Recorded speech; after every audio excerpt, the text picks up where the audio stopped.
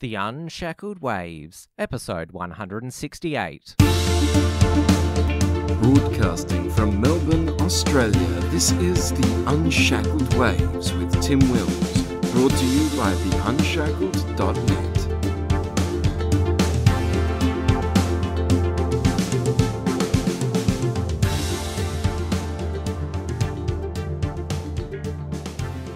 Hello, everyone. Great to have your company. Now, obviously, being an Australian based media organisation, we tend to focus on the, the day-to-day happenings in Australia and politics and news here, but uh, we also uh, follow what's happening around the world, including uh, the United States. Obviously, uh, the Unshackled was founded when the, the Trump train was uh, full steam, and we actually haven't had an Unshackled Waves episode for a while when we've commented on the, the latest developments in the United States and the Trump administration. So now, with uh, several news coming out of the, the Trump White House, I thought now would be the perfect time, and I thought the person to speak to would be Deputy Editor editor of The Unshackled, Emilio Garcia. Emilio, welcome back to the show. All right, thanks for having me. Now, uh, because of your uh, joint US and Mexican citizenship, we consider you our US uh, politics expert, uh, like it or not. And we actually haven't, oh, I haven't done a show on US politics for a while, but of course, uh, Trump uh, keep, keeps us interested and he's doing interesting things all the time, if I'll put it that way. So I thought it, thought it was about time we did a Trump update episode. Uh, yeah, I mean, with everything that's been happening, I, I'm surprised it took this long.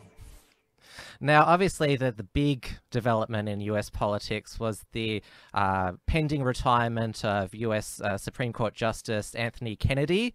Uh, mm-hmm. now, he was appointed way back by President Ronald Reagan. Now, despite him being appointed by a Republican, he was considered the swing justice on the Supreme Court because it's always been four liberal leaning justices and then four uh, conservative leaning justices. And he was the, the decider. That was actually a Time magazine uh, cover. He uh, supported, or he's a supporter of um, abortion, legal abortion. He right. uh, wrote the the decision that legalized same sex marriage in the United States. However, he also supports free speech. He uh, supported the Citizens United uh, mm-hmm. decision, mm-hmm. which uh, allowed for more electoral spending, and he also is a supporter of the the Second Amendment. He uh, also voted to overturn the uh, weapons ban in the District of Columbia. Right. Mm-hmm. No, I mean the guy the guy has uh, some lefty leanings and some conservative leanings, and that's why people were saying that he was a swing vote. But I think uh, overall he was elected supposedly as a very conservative option, and then it turns out that uh, conservatives just went on to have a really complicated relationship with him because he he voted for things that weren't uh, necessarily very conservative. So I think that a, what people say about Kennedy is that he seemed to vote in part based on uh, on what a, a Supreme Justice should, which is basically, is it constitutional and is it legal? And then the other part of him was maybe a little bit more to do with uh, with his sensibilities, political sensibilities, and social sensibilities, and that's why he was uh, he was such a, a, wild card, if you will. But now, uh, obviously, he's retiring, and the idea is what is going to happen uh, with this new appointee, is he going to be a swing vote? Is he going to be a, a, a, standard conservative one? Because it seems like he's not exactly the conservative judge that people were, were thinking Donald Trump was going to appoint. Or the uh, conservatives that progressives were fearing. I mean, they had a massive uh, freak out. They were all feeling, uh, fearing that uh, Roe versus Wade, which is the 1973 decision which legalized abortion in the United mm. States, and its subsequent uh, decision, uh, Planned Parenthood versus Casey in 1992, which uh, right. Uh, prevented undue burdens uh, being placed on access to abortion. Um, so yeah, they, they, they freaked out, and I, I know that there were a lot of conservatives who were rubbing their hands and say, "Ha we're going to remake the, the Supreme Court in our image." Or just you wait until Ruth uh, Bader Ginsburg uh, says she's uh, retiring. We're going to yeah. Uh, be able to uh, sweep this court for a generation. Yeah, well, I mean, here's the thing about, uh, especially about Roe versus Wade, seems to be kind of misunderstood the idea is that once Roe versus Wade was decided, then blanketly across the U.S., uh, abortion was uh, now a viable option for anyone who wanted it. And that's not really the case. What what it decided, what Roe versus Wade decided, which a lot of people argue is constitutionally inept because it's not in there, is that a woman's a person's right to privacy included a woman's right to do with her body what she pleased, and that was also that also included abortion. And so and thus women had a constitutionally uh, protected right to have an abortion. Obviously, conservatives say that, that that's nonsense. That, that there's like the, the the framers would have never thought that privacy included abortion. Obviously, though, uh, to to people on the left, they think, well, this is fantastic because it, it essentially establishes that abortions are uh, constitutionally protected. That being said, the uh, if you actually look at the landscape of the U.S., the states uh, still have a lot of control over abortion. So, for example, in Ohio, the regulations are so so tight that it it's essentially illegal. I think there's one abortion clinic in the whole state, and uh, yeah, no, no, I think no. So they closed the last abortion. Sorry, sorry, I had a little bit of uh, of a blank uh, mind there. So they closed the last abortion clinic down. There was the last one there because they started setting all these new regulations on top of what an abortion clinic needed to look like and what standards it needed to meet. Uh, so it's basically, and, and California, obviously, and New York have super liberal uh, abortion laws. And basically, there, you know, you can just basically walk into a Planned Parenthood clinic, get an abortion, and then walk out like it's nothing.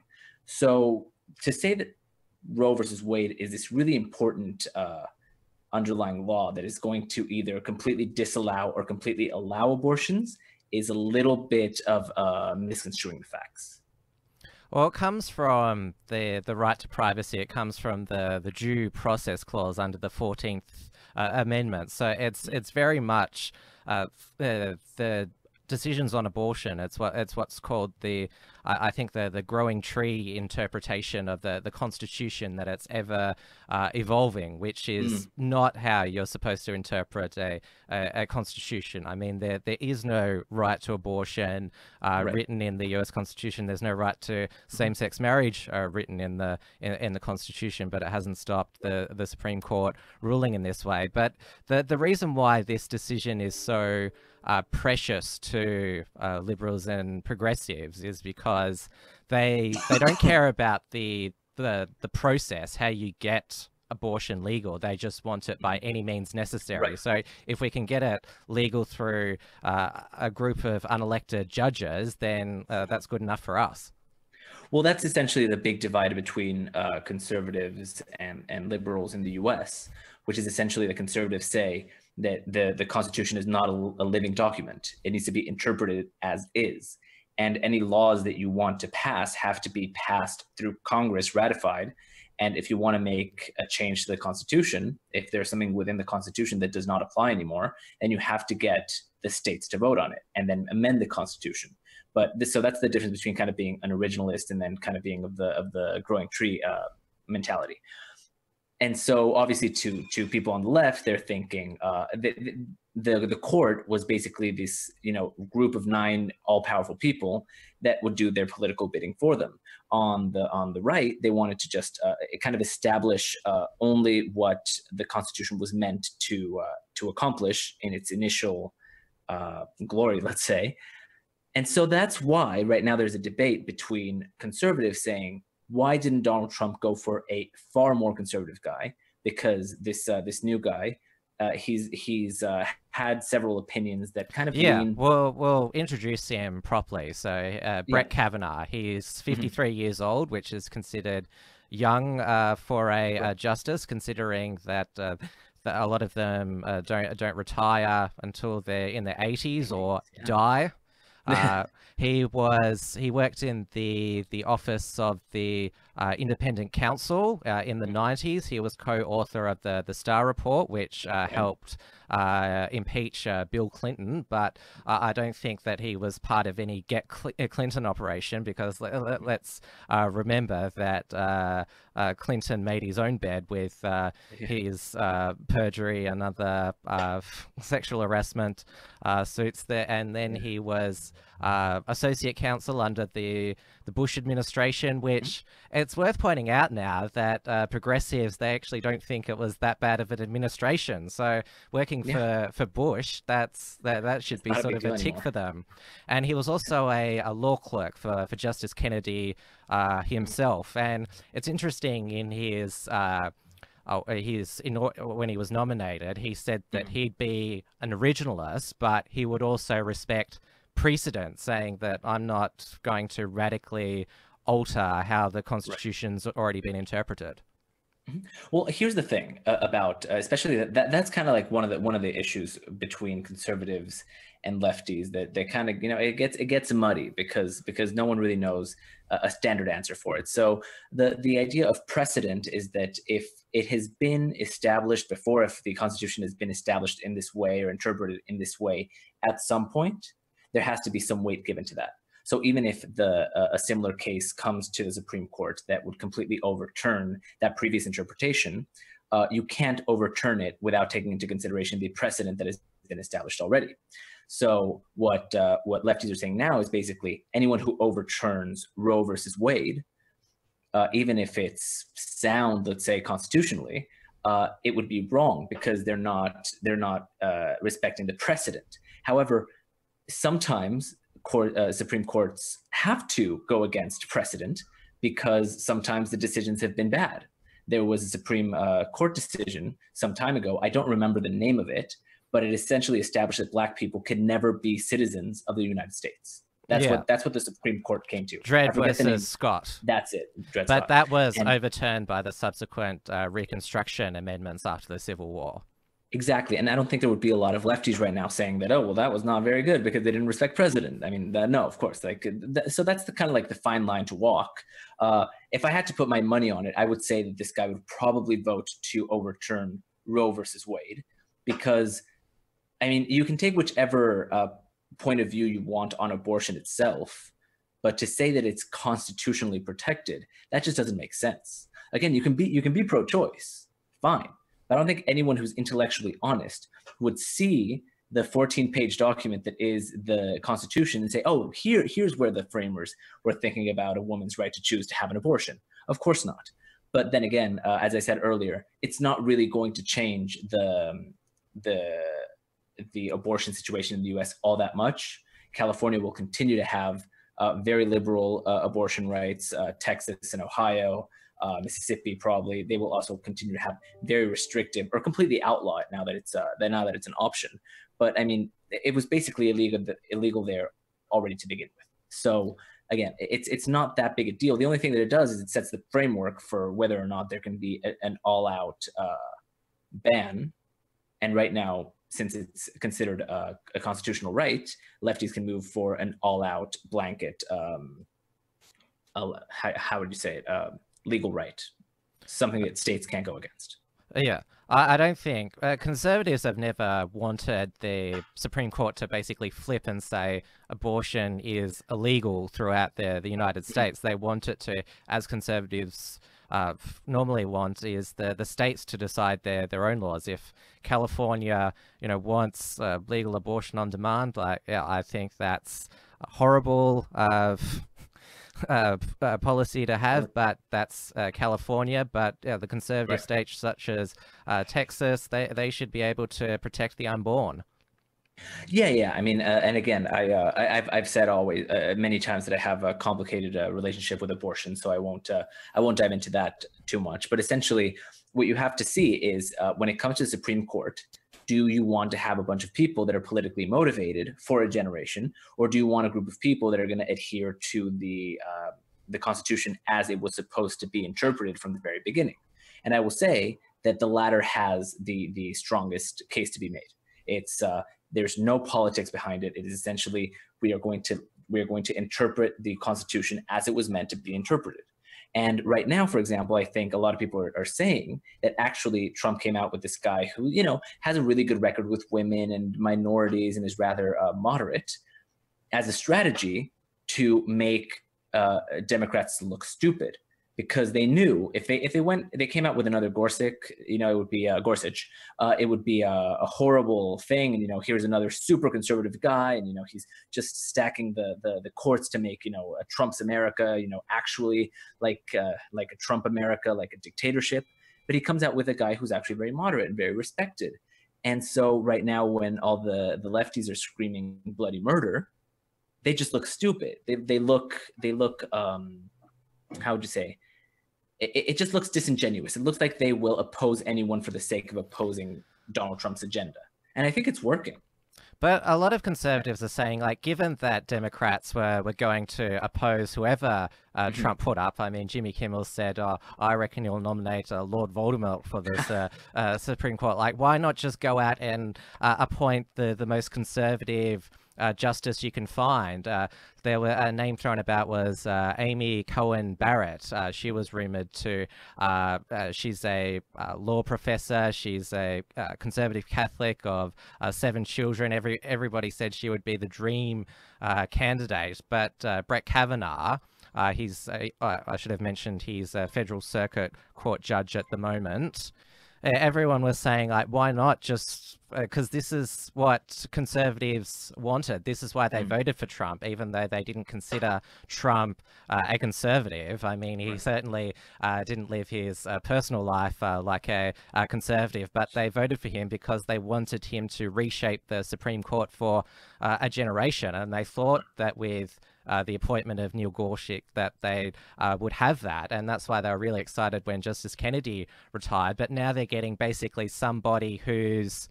Uh, Kennedy's being replaced by Kennedy, basically. and is this Trump maybe showing his liberal Democrat side again?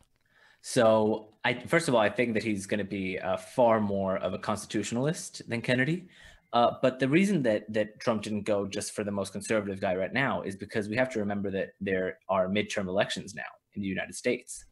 And sure, maybe getting a very conservative person would help Donald Trump exclusively, but there are a lot of, uh, of elections going on in a lot of very diverse places. And so you have to take into consideration that there are uh, Republicans that will have Democratic constituents vote for them there are people who are Republicans and will vote for a, a, a Republican candidate, but that are pro-choice. And so right now, if it seems that um, that they are going to vote on a uh, on a on a justice that is unsavory to a large swath of American people, that then might actually uh, hand over more seats to the Democrats. Well, then that's not a very good thing. So that's what people are saying. You need to hand right now. They're trying to handle at a at a at a party level someone who will kind of set the standard for overturning uh, Roe versus Wade and being a constitutionalist, while being moderate enough that you can also get a lot of um, a lot of the more moderate Republicans to vote on him and and and keep their uh, and keep their their base, and also uh, kind of appease some of the um, middle of the road people, the voters themselves. Well, he's called the been called the establishment's uh, choice, and mm-hmm. uh, there's already a whole swag of uh, senior uh, Republican uh, senators who've said they'll support uh, his appointment. At the moment, the Senate is finely balanced: 51 for the Republicans, 49 for the the, the, Democrats. It's the the Democrats have said, "Oh, we automatically oppose him," but as you said before, it looks tricky given how moderate he is. To, mm-hmm. I mean uh, like if they knock him back, I mean, then Trump can say, "Oh, well, I'm going to, you know, appoint the uh, a really conservative person, uh, right. cop that." No, man. I mean, honestly, right now we've seen with Democrats, they really are right now in the business of opposing Trump for opposing Trump. I mean, it seems quite obvious to me because I remember uh, when the whole DACA uh, fiasco started, the Deferred Action for Childhood Arrivals which uh, essentially allowed kids who arrived in the US illegally to stay as long as they had arrived um, as children, that Donald Trump said, you know what, I'm going, you guys want us to uh, give citizenship to 600,000 kids. I'll give uh, citizenship to 800,000 kids. And not only, I think it was even something like maybe 1 million kids, something like that. We'll give them 1, 1 million and, you know, we'll give them legal status and voting rights. And all I want you to do is pay for the wall and the the Democrats came back and said this is a plan to make America white again as if it were some you know white supremacist uh, agenda that would actually want to legalize more people than the Democrats initially were asking for. And the same thing goes here. I mean, he he he extended an olive branch in a sense. He he he could have gone for someone completely super super conservative and had everyone vote for him and have him go through without a hitch. And instead, he went for a moderate guy. But you still have people out there saying this guy is essentially akin to a Nazi. He is far right. He is going to rep- repeal uh, Roe versus Wade, and he's going to, you know, basically make women go out with. Uh, oh, the the other conspiracy theory that I think was put forward by Cory Booker that uh, Trump nominated him to uh, protect him from mm-hmm. impeachment. Not from impeachment, from uh, from being uh, impeached from being while charged. in. Yeah, while in office. Yeah, yeah. So the issue is that he basically wrote that sitting presidents should not be uh, should not be basically burdened with criminal uh, charges because presidents are so busy and they have so much to do that to take on a legal battle that takes you know over a year uh, just basically hinders their ability to do anything uh, productive. And what they were saying is essentially when Bill Clinton was going through uh, this whole impeachment proceeding, that he probably could have done a lot better work in the Middle East but couldn't because he had to prepare uh, legally for uh, for the battle that he ultimately lost. One really key piece of information there is that he said that that should not be a decision for the courts to make, and that it should be ratified through Congress to say, can we indict a sitting president? Go through the the lower house, go through the upper house. Donald Trump signs the law, and then it's law. But but but Cory Booker, first of all, he wants to run for president. That's that's pretty obvious. Most people know that he has presidential aspirations. So right now, it seems that they think that as long as they are the ones that shout the loudest and they're the ones that hate Trump the most, they will win. And right now, I will say, uh, I've never been on the Trump train. Uh, I started going a little bit more in his direction uh, a few a few months ago when he was doing some really good things. Right now, he's reversed himself, so he's making it a lot easier to to be bashed by the Democrats. So I think that he's also kind of messing himself up there. Uh, now, uh, conservatives they're they're not believing that we're going to change the Supreme Court for a generation because uh, Chief Justice uh, John Roberts he was another George W. Bush uh, appointment. He's turned into quite a moderate on the uh, Supreme Court. I mean, let's not forget he was the deciding vote in upholding Obamacare. Uh, he mm. said that it wasn't a individual mandate; it was a uh, tax, and so that got Obama's signature policy uh, through. Mm. There's also, uh, as I mentioned before, Ruth Bader Ginsburg. She's 85. Uh, people are wondering when she'll uh, retire. Will she hold out to see if uh, Trump loses? Another liberal justice, Stephen Breyer, is 79. Mm. And probably the most conservative remaining uh, Justice Clarence Thomas. He's yeah. 70. So, and let's not forget uh, Scalia uh, died in his uh, mid 70s. Right. So, uh, there, it's, it's still the the Supreme Court should could still be shaped in in any direction. And we, uh, as I pointed out with John Roberts, he hasn't been the conservative that everyone thought he would be. Right. Because let, let, let's remember that once they're on the Supreme Court, they're not they're not accountable to the president who appointed them. They they're, they're appointed for life. They can make their own decisions, and mm-hmm. and this could definitely be the same with uh, Brett Kavanaugh. Yeah. Well, I mean, right now they're even saying that there should be a, a 20 year limit for uh, Supreme Court justices. I don't think that's the worst idea in the world, to be honest. Well, in Australia, we have uh, compulsory retirement of High Court judges at 70. That, that seems reasonable to me. The thing is, essentially, uh, I don't think there's anything wrong with moderation in it like in itself and i don't think that there is a problem with having a diversity of opinion within the courts. And i don't think that having a counterweight between a lot of uh, different political points of view or legal points of view rather because it's not supposed to be political is a bad thing for the supreme court. The issue is when you have people that are purely political. So sotomayor she's a, a political agent. I mean anyone who sees her decisions and does not think that she is an absolute lefty political agent would just be have to be blinding themselves. And then you have people like uh, like it seems like Kennedy. They're not political actors. They just have diversity of thought. And then you have obviously the more conservative ones who are the originalists that that the, that the conservatives really like. So I can see why a lot of people are upset because they're saying, you know, we were promised a bunch of originalists and conservatives in the courts. And right now he has the chance to do this, you know, before anyone even thought. You know, they thought that the next appointment was going to be to replace uh, Ginsburg, and it's not. and he comes back with a really moderate guy.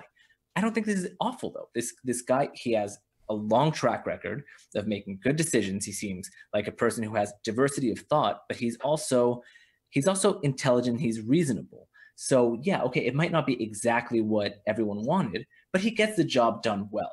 He's a conservative and he's a, a, a, constitutionalist. And I think in those two senses, when it comes to, to the Constitution, especially, you want someone who's a conservative, who, who understands the status quo and who is an originalist, who doesn't think it's a, it's a living, breathing document. I think that's fine. Well, he's also not strong on uh, civil liberties as well. So uh, mm. the libertarian with me is not impressed with, with, with that regard. And as a pro-lifer myself, I'm mm. Obviously disappointed that it looks like Roe versus Wade is uh, at the at the very best, it's going to be slightly modified to allow uh, more um, pr uh, protections in place for the uh, the unborn. So it, it, looks like it's going to be pretty much uh, business as usual for, for the court, which it which it which it has been for. I mean, it all seems to sort of work out in the end. There's four. conservative justices, four liberal ones, and then uh, the decider. Or now looks like we might have two deciders, two deciders. considering how moderate Roberts is becoming again, I don't think that's a bad thing. I don't. I don't. I mean, I, I understand everyone's uh, plight with with this. I think that everyone thought, you know, Trump is going to basically bring in his sister and you know overturn Roe versus Wade. It's going to be fantastic. But but I mean, the, the fact of the matter is, listen. It seems like this guy being an originalist. If uh, if there is a case that manages to get to the Supreme Court that would that which decision would overturn Roe versus Wade, I think that he would vote to repeal it. Not, be, not because I'm saying that it's the right or the wrong thing to do, but because it's not in the Constitution that a woman should have an abortion. So I don't think that that's something that, that should worry people so much. What I don't know is when is another case going to come around that will have standing, appropriate standing, at all levels that the Supreme Court will have to rule on it and rule in that direction. It's not that easy. It's not like tomorrow uh, the the Republican Party can just you know take a, a, case up to the Supreme Court. There's several steps, and the Supreme Court doesn't necessarily hear every single case that comes uh, past them. So so I mean, I think I think it was a lot of wishful thinking. I think there was a lot of wishful thinking on behalf of conservatives that thought that the second that this new guy came in, he would just you know completely overturn it and everything was going to be wonderful and it was going to be you know uh, the, the the America that everyone dreams of. And it's not that simple. It's just not. And I will say once again, I don't think that there's a problem with moderation, and I don't think there's a problem with having diversity of opinion.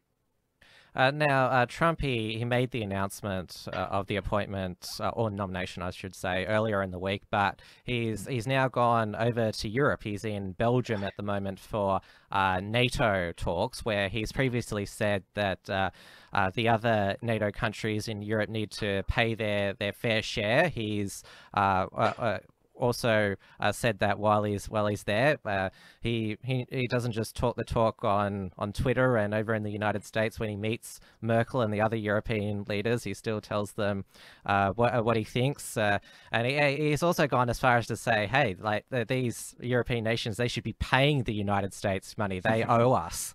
Yeah that that that was one of the mistake one one of the mistakes that he made. I think he doesn't understand that NATO isn't uh, it's not like everyone puts money into a little pot and then that's the defense budget. It's everyone's supposed to contribute a certain percentage of their GDP. So I guess you can make the stretch to say that, you know, because they haven't contributed what they said they were going to contribute. It's hyperbole. Yeah, yeah, exactly. Uh, so yeah, I, but I, I understand his sentiment, and even people, I will say, I've been very surprised. I listen to a lot of lefty news, uh, specifically Anderson Cooper, just because I really like to get all, all sides of the of the debate, uh, and he's the most radical one I can find. And even people on his show and he himself are saying, well, yeah, I mean that makes sense. That one thing that Trump is saying that all other NATO partners have to give their fair share. That's true. They're saying that it's because uh, it, the broken clock conundrum, I think it's called. Yeah, twice a day. Yeah, twice a day. So it's just like by accident he's he's right about it.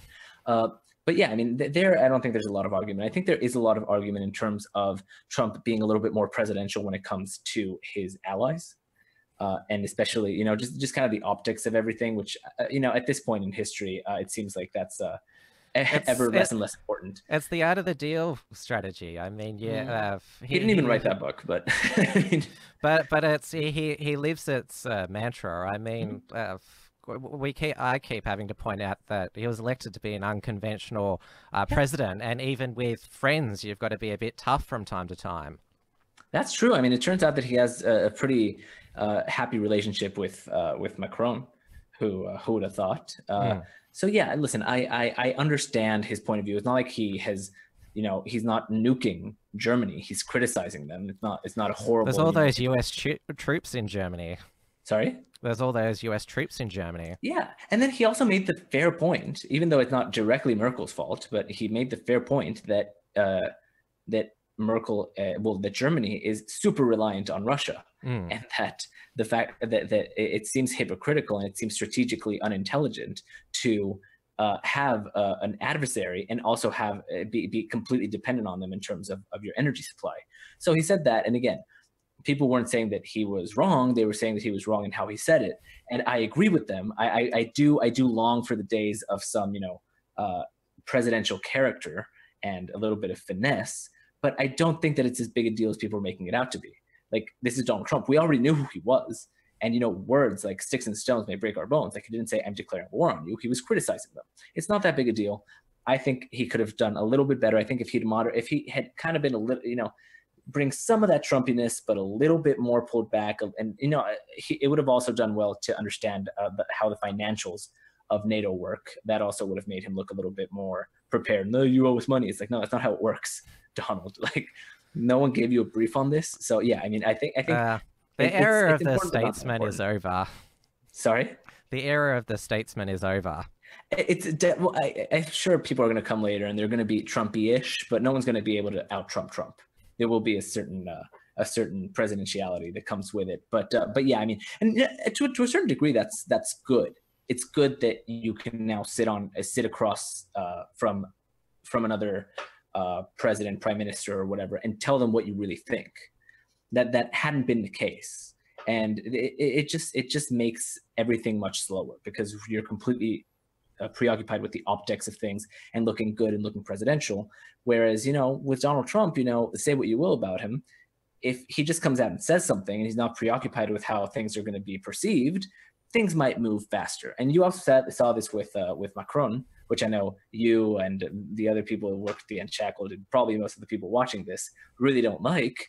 But when he was on stage with uh, with Vladimir Putin, people generally don't, uh, you know, they, they don't talk trash while they're on stage with another world leader but he was like, "Hey, bro, like we need to talk about the shady shit that you're doing when it comes to uh, election meddling." And so, yeah, I mean, I think I think that that's a, a good thing, not a bad thing. Uh, it was interesting that uh, everyone's noticed that oh he's not criticizing uh, Russia uh, Trump while he's over. He seems to sort of uh, like, like I said like uh, do a strike in in Syria every now and then to say oh I'm you know st- standing up to Russia, but then it's yeah. back to or uh, playing uh, nice with them, and I think that's why he mm. deflected uh, uh, onto Germany, saying, "Hey, you're saying, you know, I'm in cahoots with Russia. Hey, look at your, uh, you know, gas relationship with them." Right. Listen, with Donald Trump, I, I, it, when it comes to Russia, I don't even know which way to look anymore, because you know, on the one side, he will not say, he will not say a bad thing about Russia. I don't get why. It seems like a perfectly good country and a perfectly good leader to criticize. But then on the other side of it, he has he has done some pretty pretty significant things. He's imposed uh, several sanctions on some very uh, some people very very close to to Putin in a really strong way, more than Obama did, and he's also armed the people of Crimea, which is something that Obama failed to do. So I don't I don't understand the the dynamic. I don't I don't know if if Trump just kind of thinks that Putin is cool and doesn't want to criticize him because he just thinks he's kind of a cool guy, but yeah, I mean, the the, the Russia situation just kind of uh, has my head spinning. On the one hand, he he does things that are really really tough on them, and then he completely counters that narrative by not being able to utter a single criticism of of uh, of Russia, in any important way at least. And of course, uh, Trump, while he's in Europe, he's visiting the, the United Kingdom. Uh, mm. Now, there's mass uh, protests uh, planned. Uh, uh, Britain has a very active uh, left uh, Antifa movement there, mm. and, and in preparation, uh, has designed an inflatable uh, baby Trump, which has been flying uh, everywhere, obviously hoping that that will get under his skin. Yeah. I mean, listen, w- what can I say? I mean, let them do it. It's that, that's kind of like one of these stories about people thinking that their statements are far more powerful than they are. Uh, I don't know if you if you've heard of this uh, outlet called Now This. It's a news outlet owned by by BuzzFeed, and uh, anyway, they do kind of like these digestible news videos, and they they they they, they report on how some people protest Trump. It's like, ooh, Trump is going to hate this. You know, this guy ate a hamburger out of a of, out of a MAGA hat, and this was actually on Now This and people were like, "Oh yeah, that'll teach him." It's like I'm sure he doesn't care. And uh, listen, he does have a big ego, and I don't think that he's going to be thrilled at all. You know, driving into London and seeing a bunch of uh, fat inflatable uh, Trump babies in the sky. But to say that this is a significant thing, or that it's actually going to going to do anything uh, in any real terms to uh, to coerce his actions, I just I just think not. I just think people are being stupid and petty. Yeah, the, the left think that this is uh, a, a, grand uh, uh, a display of uh, opposition. You, will be amazed at how effective they, they think it is. But probably yeah. the more uh, noteworthy thing while uh, he'll be in the UK, Trump, is his meeting with uh, Theresa May because they've had a somewhat tense relationship. Uh, she didn't like the fact that he uh, retweeted those Britain First videos, which showed uh, Muslim did, violence in. Oh, I, I, I did. I, I, I oh. liked it. Okay. Uh, um, yeah, and so uh, Trump responded to Theresa May criticizing uh, him, saying, "Hey, you, you know, you better be uh, careful about, you know, focus on the Muslims in in your country rather than having a go at me. And he, mm. he's also uh, done a few uh, Twitter tirades against the London mayor, uh, Muslim uh, oh, Sadiq yeah. Uh, Khan, who's got the trying to undertake knife control at the moment because there's oh, so God. many knife knife attacks. So, yeah, there there there'll be some uh, I, I, think, interesting dialogues uh, between the two. But hey, if uh, Malcolm Turnbull and Donald Trump can be on stage and uh, be best friends after their tense uh, phone call, then perhaps Trump can pull it off with Theresa May as well. Listen, uh, after after Macron was here and he referred to to Turnbull's wife as delicious, there's really not a high bar for for a state visit going well in Australia. Uh, but yeah, listen, I mean, uh, right now, especially, it's it's kind of fitting that Donald Trump would make his way over to see Theresa May, uh, especially with her her world kind of crumbling around mm. her. I mean, just what has been happening in in Britain lately is. Um, is truly unbelievable. I mean, there's just so much chaos. It seems like, you know, I, I kind of read the stories from the very beginning. I thought this had happened over the past couple of weeks. It turns out that it happened over the past few days. Uh, so yeah, listen, uh, I think I think that it's good that he's uh, pointing out the issues that a lot of people tend to ignore that are happening in Britain, especially when it comes to this London mayor who seems to be so much more focused on being remembered as a cool, uh, hip, woke guy than actually protecting the people of his of country. culturally enriched city. Uh, yeah, exactly. That that's uh, that's the, he he's more concerned with uh, with those types of slogans than actually doing anything of real significance. So when it comes to that, and I will say, uh, though I'm not in love with uh, Trump's rhetoric sometimes, and I feel like he could handle himself far better.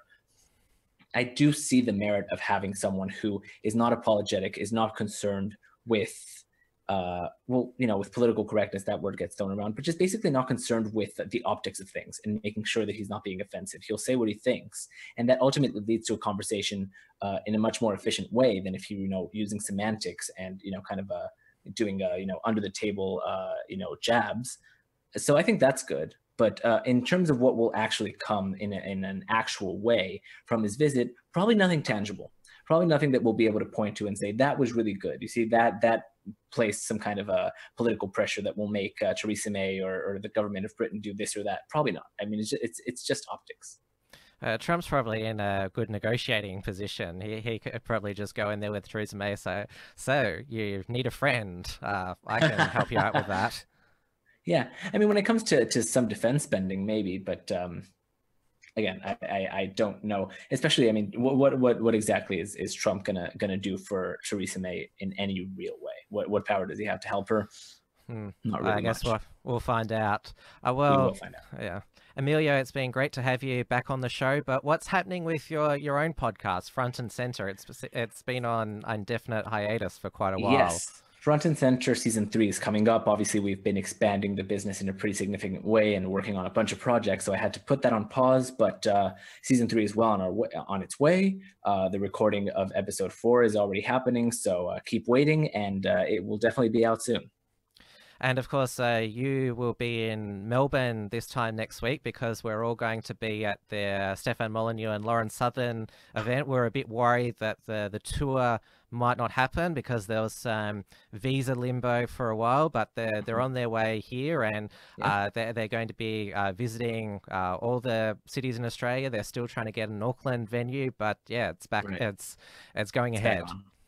It's back on. Yeah, I really wish you hadn't uh, hadn't mentioned to everyone watching that I'm going to be in Melbourne for that event because now the Antifas know to look for me. Hey, they've, they- they- unfortunate. they've got your uh, photo on their uh, anti-fascist Melbourne Wall of Shame. Oh, they really? So yes, they do. I was not aware. I was not aware. I thought I thought I thought I was I, I thought I was moderate enough for them. No, I guess not. no.